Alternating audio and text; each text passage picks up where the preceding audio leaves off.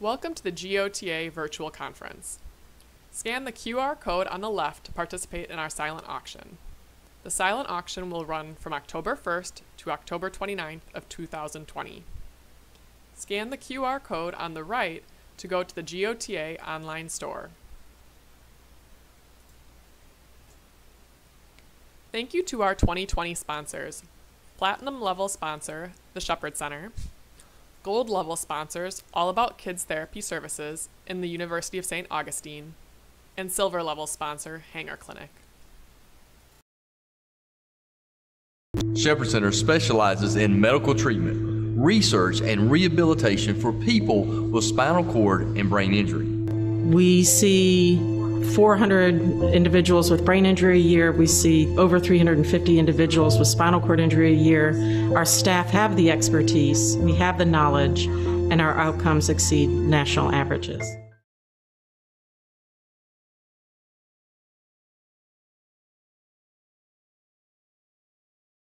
works at the Shepherd Center as a dual spinal cord and brain injury specialist in the Atlanta area. In 2017, she was awarded board certification in physical rehabilitation from AOTA, and she became a RESNA certified assistive technology professional, an ATP. She's pursuing Masters of Business Administration and Masters of Healthcare Administration with Georgia State University. We also have Laura Barone, she is a first year pediatric OT at Hopebridge, a center for children with autism. And she's new to Atlanta from Philadelphia and graduated from Temple University. Welcome to Atlanta. Kelsey Reeves is our current chair of membership committee and our journal club. In addition to GOTA, she works at Northeast Georgia Medical and Shepherd Center. And we also have Lauren Gray who graduated with her OTA degree from Middle Georgia State University in 2009. She is faculty member at Georgia University, and she's been teaching for five years. She has been providing teletherapy to the pediatric community and serves as a COTA on the board member for the NBCOT Board of Directors. So thank you everybody for joining us. Um, really looking forward to this presentation and let's just have you take it away. Hi everyone, so I'm gonna share our presentation with you. All right, is everybody able to see our presentation now? Yes. Good. So we are presenting on addressing the elephant in the chat room, the moral imperative of occupational therapists to produce digital content. Um, Thank you, Amy, for introducing us all. Um, collectively, we are the GOTA membership committee. so the things we're going to be going over tonight, are learning objectives, is the role of YouTube um, for just the general public education, just the role it has on disseminating health information now. Um, the impact this has on our profession as um, therapy practitioners, as well as how to integrate um, video sources like YouTube into your professional toolkit. So we've created some interactive polls um, since we are the membership com committee and we make the content for the YouTube channel and help upload your content to the YouTube channel. Um, we wanted to get some feedback from you all. So we're gonna start out um, with just how often you watch YouTube. So you can join the poll by going to this website at the top, pollev.com slash Kelsey Reeves 175. Or you can text um, Kelsey Reeves 175 to 2233.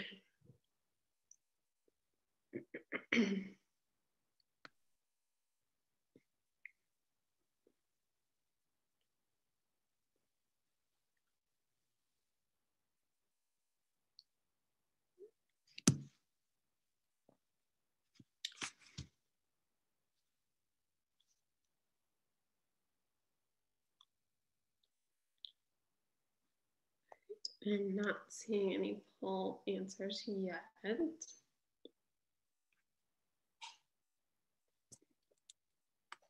I'll give people a second to join.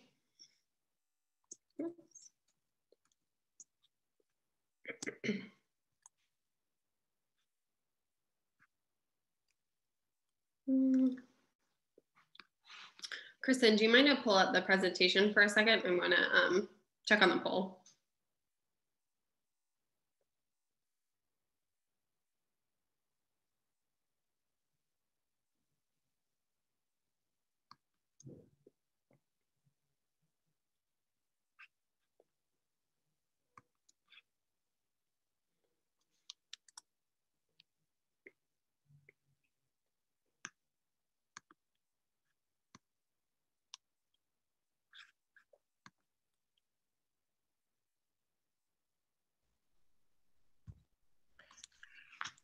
Okay, it should be working now. Let's see. There we go. Okay, perfect. All right, I'm going to stop sharing and hand it back over to Kelsey. Okay. All right, can we all see the poll answers now? It's coming in for me. Awesome. All right, so we're getting a lot. And so um, the majority of you are answering frequently, as in weekly, or sometimes, as in monthly.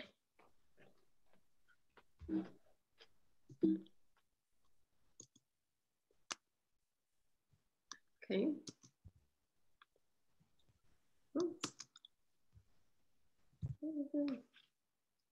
Sorry guys, my computer is struggling tonight.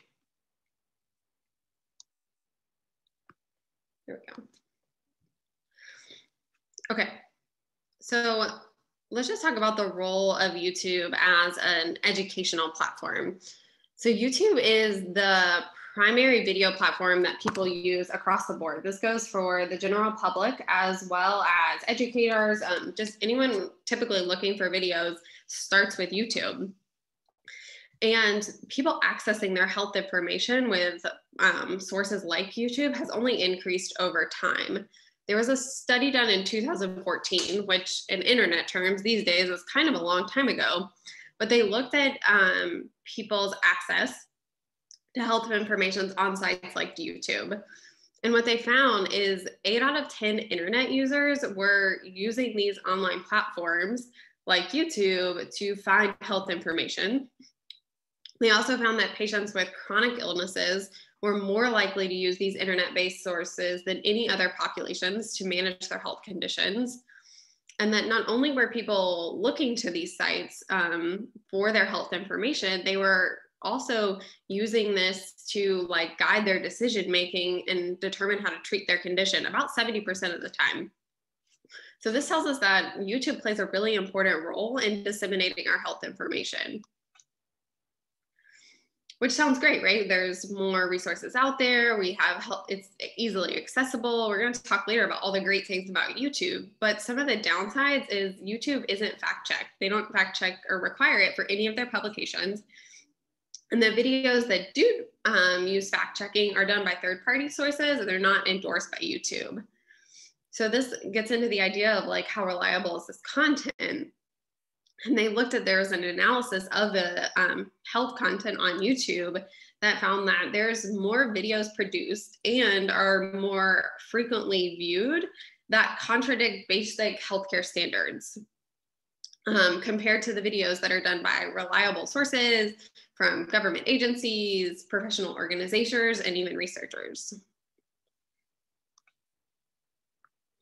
The other piece of this is the learning side of it. So um, 2013 looked at a study of millennial student learning and how millennials were um, deciding if their sources were reputable or something that they would use. Um, and they found that they weren't looking at the quality or the validity or the authority of their sources. But what they did use to evaluate a web based resource was its understandability. I feel like this needs a big like hashtag Wikipedia next to it. Why it's an easily used and frequently read search engine. Um, the amount of information from a source and the accuracy as well as the recency.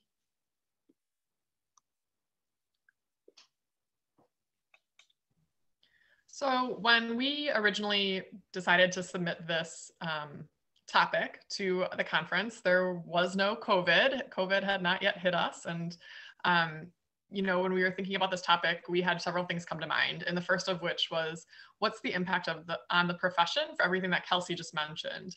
So as we know, um, people that produce content tend to be the drivers of narrative of the narrative.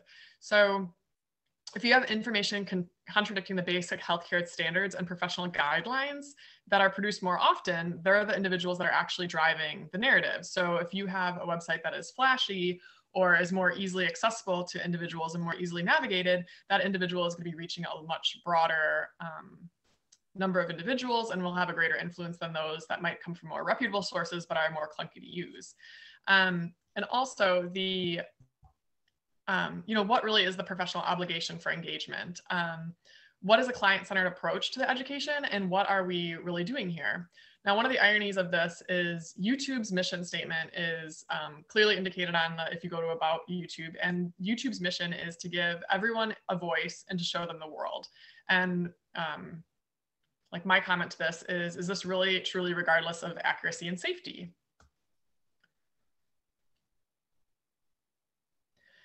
So with um, YouTube and with sites in general, when we think about our professional awareness, and so when the GOTA was looking at creating our own YouTube site, we really wanted to make sure that we were keeping uh, recruitment, professional scope, and public awareness in mind.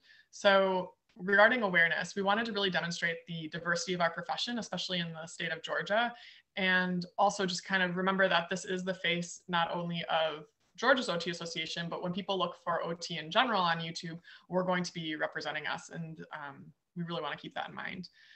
Also, the professional scope. We want to be aware of future collaborators and want to make sure that we're always managing, you know, up our peers. Um, if you are looking at other professional sites and you see people are talking uh, poorly about one another or um, you know just not managing up a situation what does that really do for future collaboration when we have to reach you know um, across the office or um, nationally across different stages? And then finally public awareness. We really want ot to remain synonymous with our scope of practice. So adls hands and all of those major things.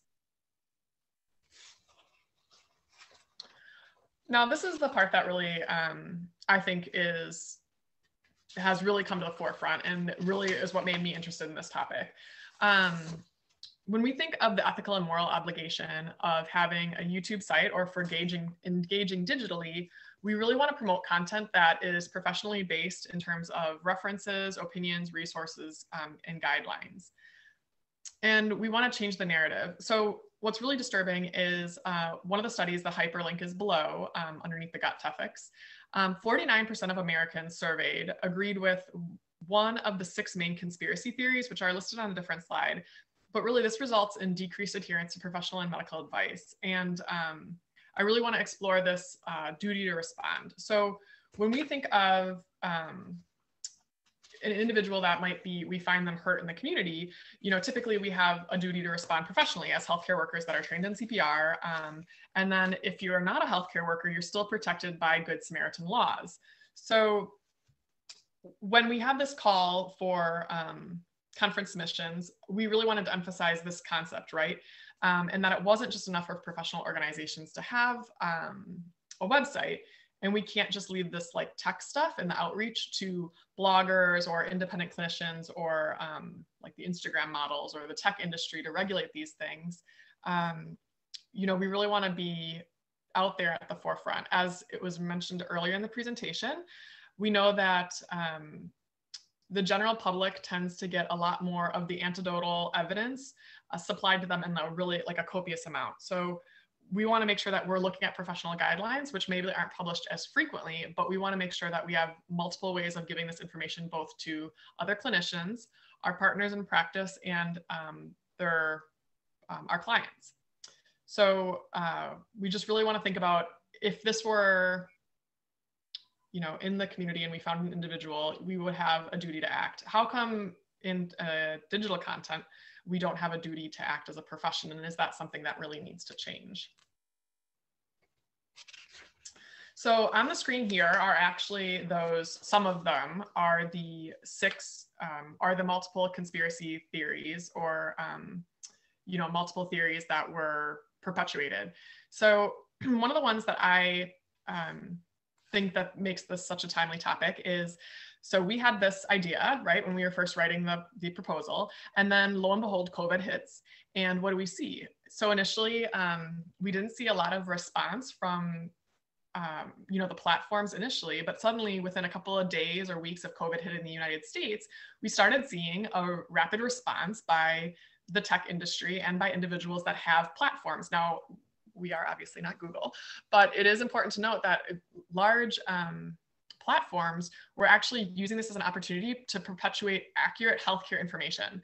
So i have a snippet here of what pops up when you Google the coronavirus, and that is actually um, a health warning. So that little triangle there in the word health information, and then it indicates the symptoms, prevention, and treatment, and it comes from reputable sources. And then on the left hand of the column, it actually regulates where you're getting the overview statistics and health information.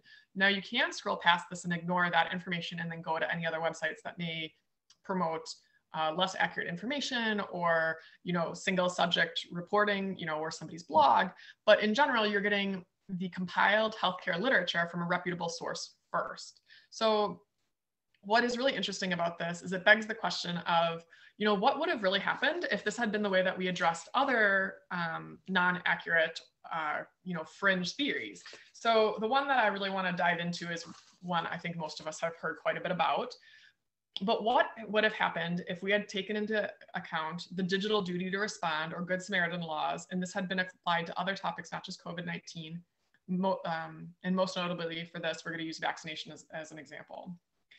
So if the general public had had a more unified response to the Andrew Wakefield study regarding vaccinations and autism, such as a banner ad, a pop-up window, or some other warning appearing when um, people had visited sites regarding vaccine information, um, not just ones regarding autism, but if we had noticed that this was starting to sweep the world, if we had started having warning signs come up, um, you know, would that have changed the outcome of things?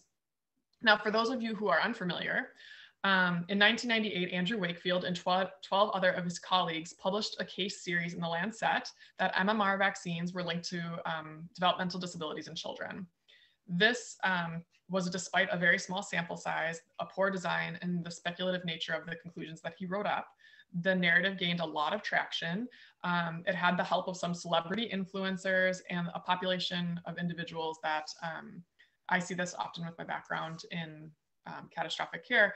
Uh, individuals that have chronic um, presentations of different things tend to be more susceptible to um, you know, exhausting all possible avenues for care. And so this, uh, and this group of parents of children with autism and groups that were concerned about that, they are very susceptible and were susceptible to this information. And so it gained a lot of traction.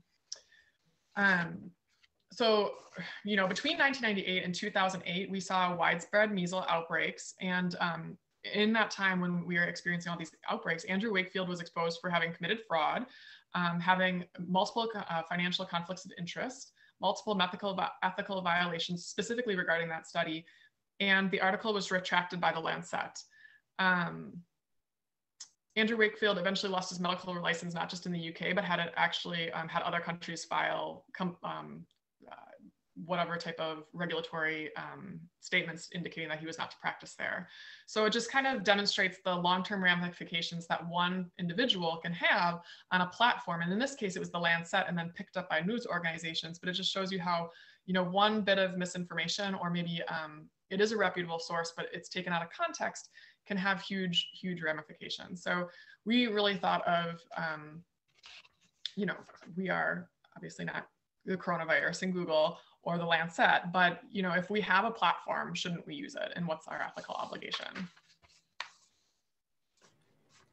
So now to kind of look at YouTube use in OT practitioner education. So both in OTs and for OTAs, because right now we're getting a whole new generation of students in, even though I just graduated in 2009, which to me doesn't seem that long ago. The students we have now in our educational programs are a completely whole new generation of students.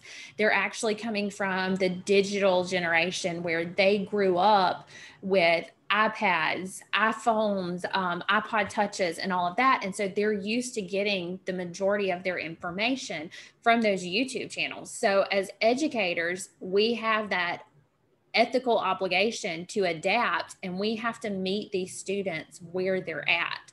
So, looking at YouTube use in the classroom, it's really interesting because it gives us that multisensory way to get that information out to the students instead of just standing up there and having us lecture in front of them um, from a PowerPoint slide or anything like that, because it gives them, it almost takes the context of a picture um, is worth a thousand words. Um, but in this case, a video can be worth a thousand words because they can actually see what the educator is talking about. So it's going to provide that multisensory way to get that information to them. Um, that learning is going to increase when that instruction is integrated using those multimedia tools. We know as therapists that we don't just want to hit um, our patients and our students just by showing them something. We want to show them, we want to tell them, we want to have them do it. Um, they want to hear it and all of that. So we're hitting all of those multisensory categories. So it shows um, the students are going to learn more by using that. And then actually 71% of students believe that that video use increases their attention during the lectures. So it's going to reduce that classroom time that we have to spend on explaining things more in depth. Um, if you can just show them with those videos, and then it's going to improve that exam performance. So that was looking at it from a student perspective, but then looking at it from an educator responsibility. As OTP educators, what are we called to do meeting these students where they're at? So by using those videos, we're engaging them in more critical and creative ways. We're not just having a PowerPoint slide or just a lecture. We're adding all of those things and we're meeting them right there where they're at. So we have that obligation as a university to endorse those quality educational videos and those YouTube channels and endorse them as a program, as an institution. Because if you just go to Google and you Google sensory, there's probably going to be 50 million things that pop up the majority of those may not even be from an OT practitioner or someone who even really knows what they're talking about. So when our students then Google that, maybe they're in the pediatric class, and I use that because that's what I teach, but um, and they go and Google that and try to find that information, we can't verify that the quality of information that they're getting is legit. So, as educators, we really need to take that first step to endorse some of those videos. And we can even do that by either creating our own content for classes. That way, it's a lot of work up front, but we've created that content. They're able to watch it. We know the quality of the information that's in there or go through and vet some of those videos. And you can actually create your own YouTube playlist that are based off of a structured lesson plan or topic. So that way, the students would be assigned a topic and can go through that video list that boosts that information that you're talking about. Um, it's a lot of work up front, but once you do it, it's very beneficial. And then, especially during COVID right now, it has been huge because educators are having such a hard time. Students are not going on level one field work like they typically do.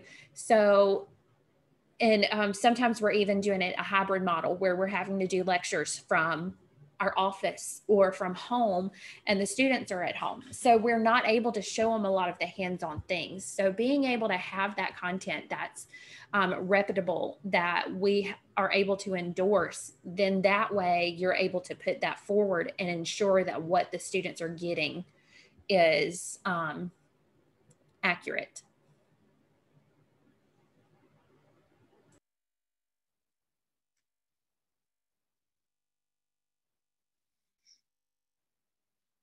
So we wanted to see if any of you guys have ever made a YouTube video.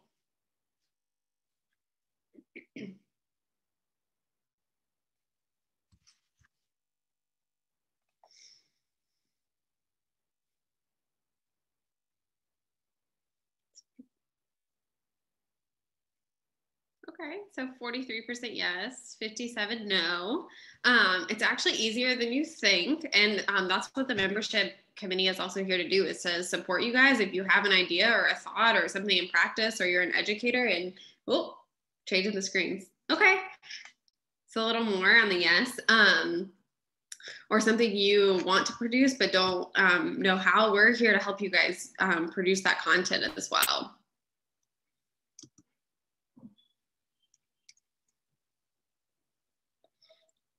So what about how many of you have visited the GOTA YouTube channel?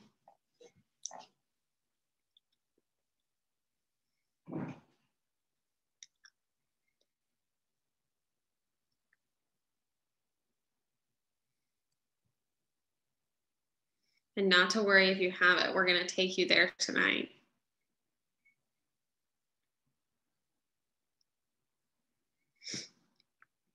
Okay, good. So 70% yes. That's awesome.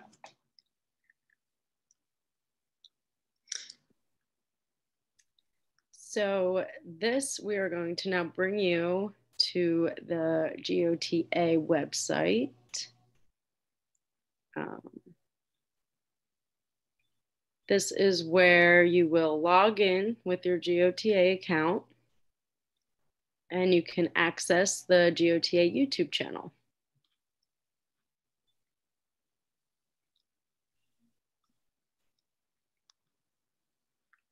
Um, so here is all of the wonderful videos that are on the channel so far. Um, some of there's um, the OT and COVID 19 um, field report videos. Those are very informational. Um, and a lot of people have submitted videos with, on different topics, things about Journal Club, telehealth updates. Um, so if you guys want to go on and look at any of those, they are very informative and reliable content.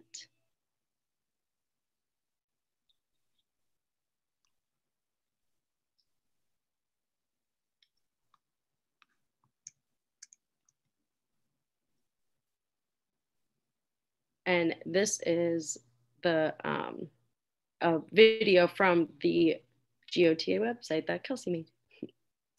Hello, hello. I'm happy to welcome you to the Georgia Occupational Therapy Association YouTube channel. I'm Kristen Webber. I'm an occupational therapist who lives in the Atlanta region and specializes in catastrophic care. I'm your current chairperson to the membership committee, and I'm excited to introduce you to the rest of the committee members tonight as we review the GOTA YouTube channel mission. In addition to reviewing the mission statement, this video will also cover why the committee decided to use YouTube as our platform, the benefits of tuning in, and how to submit content. So let's jump right in. The mission of the YouTube channel is to increase membership participation through a grassroots campaign. Channel puts members first by promoting a platform for engagement.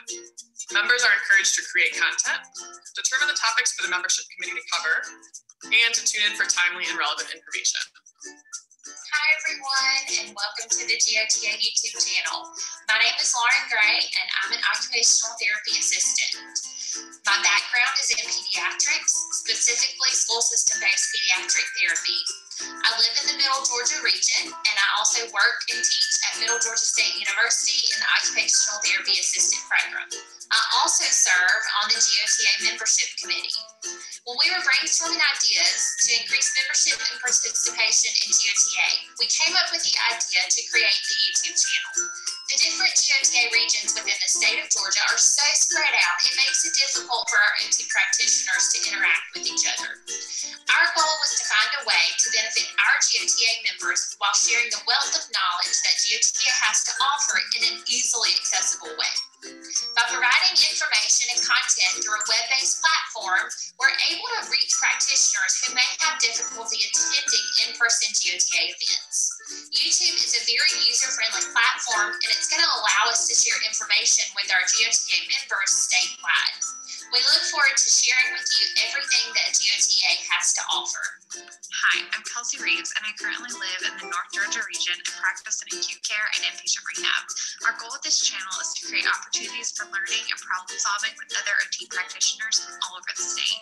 We plan to post everything from in-depth continuing ed courses to current research and evidence-based interventions, and even some quick reviews and study strategies for students.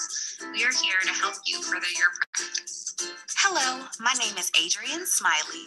I am an occupational therapist and a member of the Georgia Occupational Therapy Association.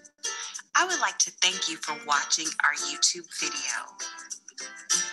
The steps for submitting content are as follows.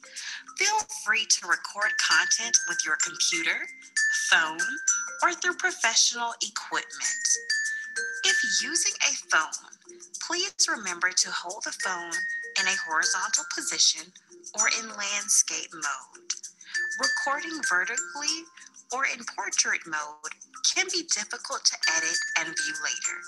When you submit your content, please provide the following.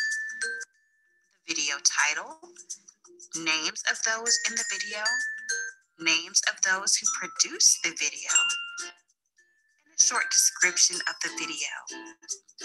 If the video should be shared as is, or if edits are needed, please indicate this when you submit your content. If the video needs to be combined or shortened or formatted in some way, please also include this information. You should send your materials to kristen.jean.webber at gmail.com or via Dropbox in the link that is provided. Thank you so much, and we look forward to your submissions.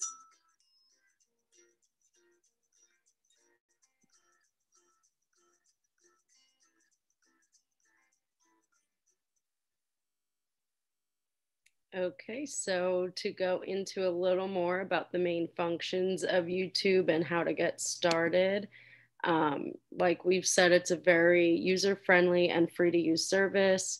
Um, you can just make an account and you can search for, watch, and subscribe to videos. And then YouTube has this alg algorithm that populates to your interest based on searches. Um, so that's where if you're typing in occupational therapy, hopefully GOTA will come up because more people will watch and subscribe to our channel.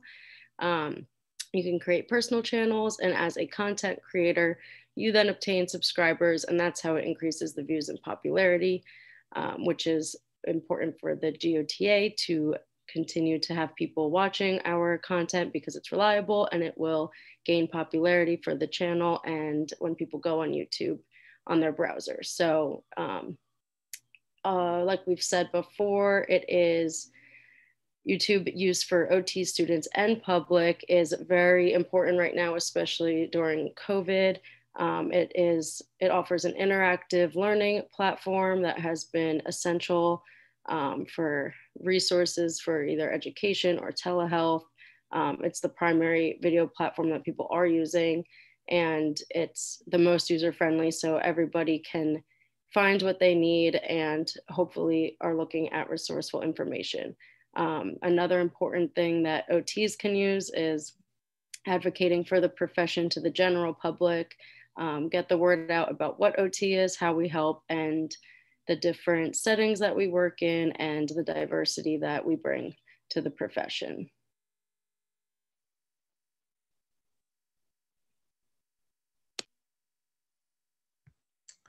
All right, so what do we see from other state associations regarding the use of YouTube and digital content? When we decided to do this presentation, we really wanted to survey the field. And so this is what we found. Nine out of the 50 states had Occupational Therapy um, Association YouTube channels. It is important to note that one state had um, the student run channel uh, so the state actually did not have the general clinicians or their board of the geo of their state association run it. And I believe it was Ohio. They had um, the student association take care of the channel entirely, and then it would actually hand off between student associations each year from all of that state's schools. So that was a little bit different. Um, I think most of us know the AOTA has their own YouTube channel as well. And the AOTA had a very coordinated response to COVID 19.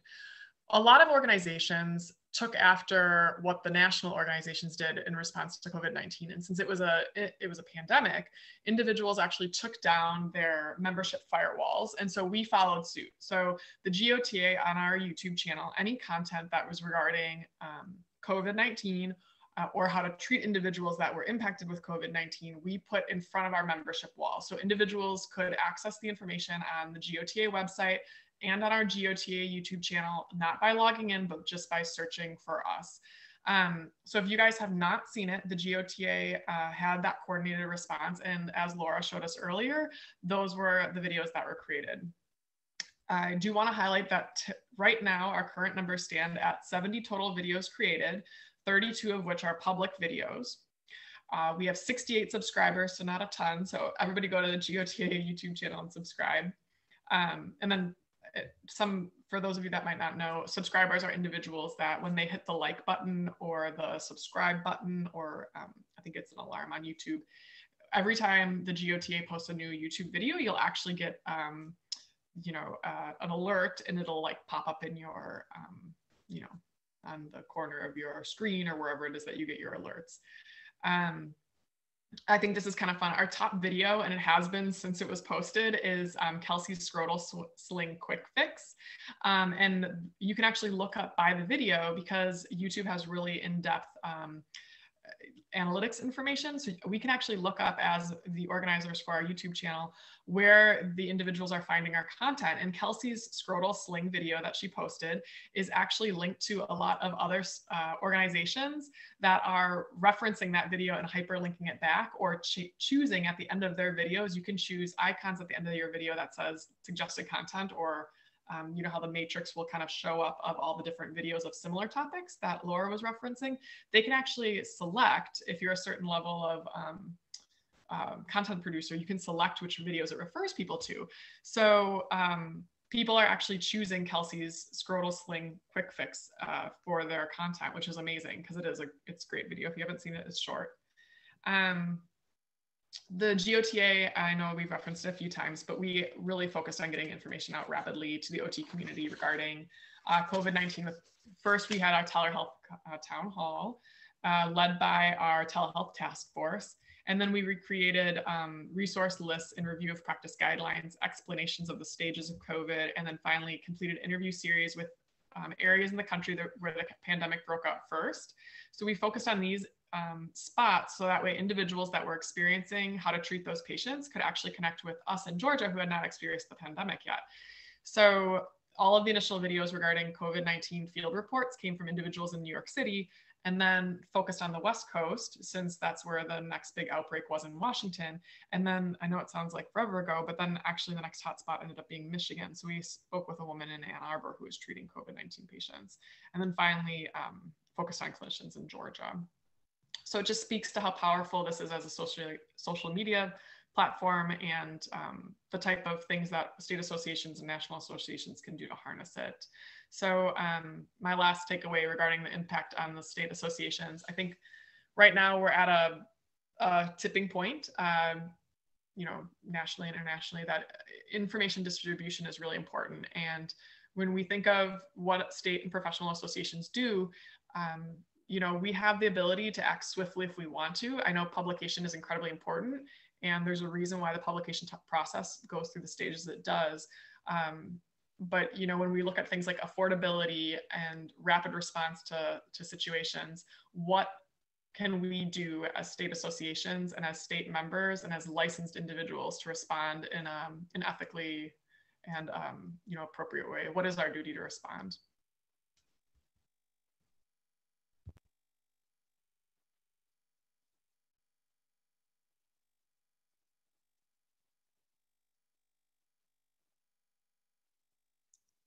I'm not sure where these um, responses are coming from, but um, what content would you guys like to see more of on the YouTube channel?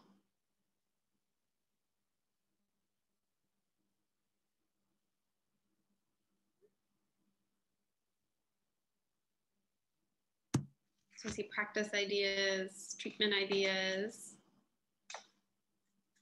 Okay, pediatric content. That's a um, content area I um, have tried to get more information out there on. Fabrication of splints. Okay. And shift. I'm gonna take some screenshots here. You can also check out it later. But um, mental health assessments, intervention approaches, seating. These are all great topics. Telehealth, treatment ideas in peds. Okay, that's good. I like it. These are awesome, guys. Um, I know the the PEDS ones has been a challenge to find um, people to produce that content, and since I don't work in PEDS, it's been difficult. But um, yeah, if you guys have also videos or ideas, um, would love to share. But I'll reach out to find more things. Promotion for non-members, new research content, education practice with diverse groups. These are all great things.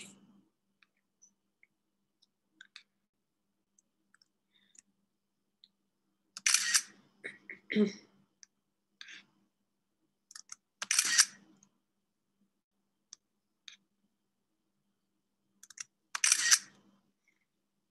right, I think I got most of them. I love this app.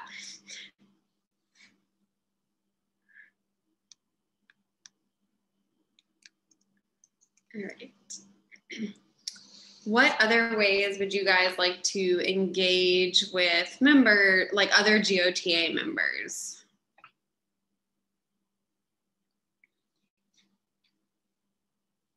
right now, like the regionals are having their virtual meetings. We have journal clubs. Um, obviously, the YouTube channel. I miss. I know everybody misses in person. It's just not the same. Facebook. Yeah, we've gotten a lot of um, feedback on having some social media, um, other social media sites. So we're working on that as well. Virtual meetings for each reason. Okay, just like a virtual like meet and greet kind of hangout with, or like more topic based Slack groups. GOTA store, yay. Both, okay.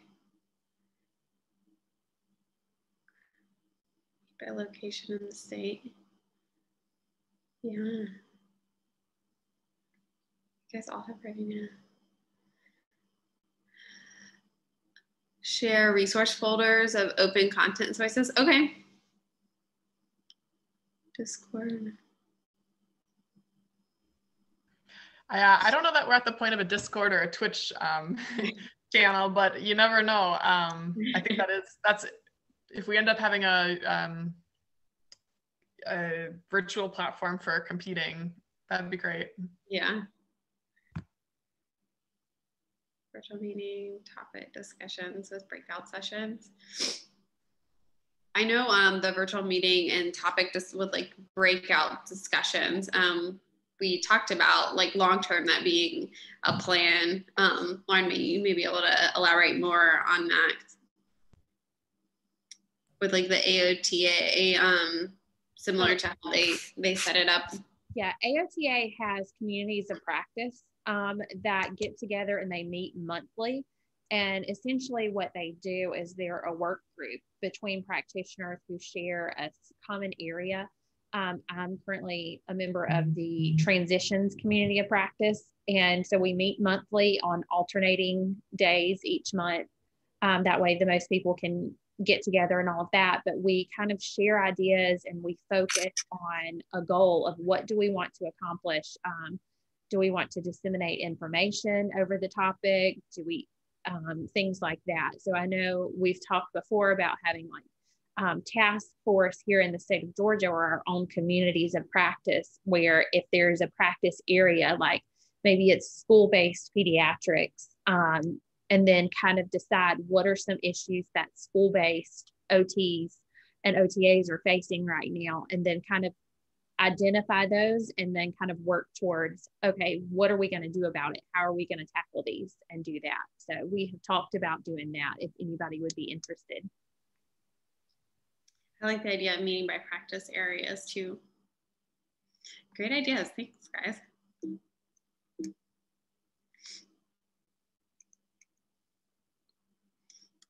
all right so i think we there we go. This is our contact information. Um, if you want to contact any of us or if you want to reach out about um, creating content, um, it's also on the GOTA website um, under the YouTube channel, how to, um, you saw in the video how to make content, but it's also there if you want to review for any of that.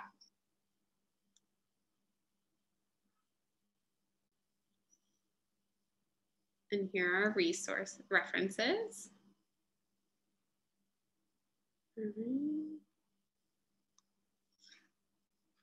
Does anybody else have any questions or comments?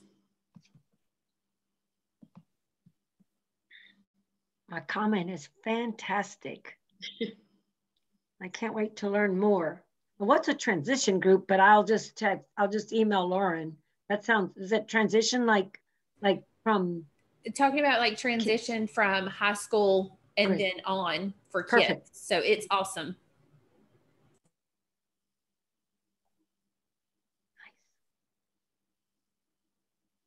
No questions at all? Well, I could say uh, it might be nice. You know how they have those YouTube videos on on slang. Uh, you said Slack and Discord, and you said something else, and I'm like, I, I gotta get that that, uh, that lexicon down, that jargon. I don't know what you're talking about. right. I was unsure of Discord too. Thanks, Kristen, for jumping in. yeah, Slack and Discord a lot of times are used uh, by gamers, but they've actually been picked up by a lot of um, virtual fitness individuals. So you'll see people um, using uh, Zwift, which is like a biker, a competitive biker app, and they'll be on both Slack and Discord to interact with their um, communities. So it's a way of engaging one another. So we could do fine motor group and we could all be virtually engaging on Slack and Discord. Oh, that's cool. So it'd be like a competition. Yeah, yeah, you could do. Um, I know at one point we had talked about doing a video on like, um, you know, for OT month doing a. Um, I can't remember what you called it, Kelsey. Like one of your organizations had done it. It was like a relay or like a the Olympics, like using a sock aid. There were multiple things that were adaptive aids and typical things OTs did, and that or taught people to do, like putting on a shirt one sleeved, and then you had to get through the relay course. So theoretically, we could have everybody streaming their capacity to complete these tasks. Right. Provide commentary. you know what I was thinking? A World OT Day is on um, October 27th. We should see who can, uh, like, who who could connect with another OT in another country, or who do you know I actually, um, this is like totally random side note, but I thought was interesting, and I wanted to share it with other OTs. I was talking to an OT to an OT who's um, in the UK, and we just got on the topic of COVID and life and how they were doing in response and stuff. And they are creating little um, like mobile COVID rehab centers that are just specific for rehab, OTPT speech, um, and um, people like who have um, like either still COVID positive or been COVID positive.